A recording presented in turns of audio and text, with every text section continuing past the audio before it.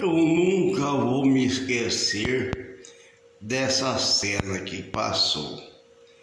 Eu estava sentado no portão da minha casa porque eu não sabia se eu tinha perdido a chave, mas veio uma vizinha me entregou de coração. Mas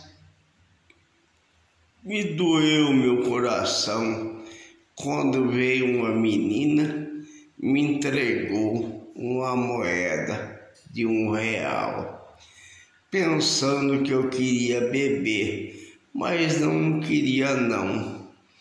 Eu fiquei muito feliz com a cena que essa menina fez. O pai dela mandou entregar essa moeda para mim satisfazer. Eu fico muito alegria. Eu não tenho palavra para dizer. Essa menina me trouxe tanta alegria que jamais vou me esquecer.